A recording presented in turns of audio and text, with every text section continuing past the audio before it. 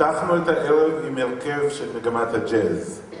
עידו גור בחצוצרן, אור יעקובסון סקסופון, ענבל תמיר גיטרה, אלעם פרידלנדר בס, עופרי נחמיה תופים, והקטע ששמעתם, וואנס הידיעה, נכתב על ידי עופרי נחמיה.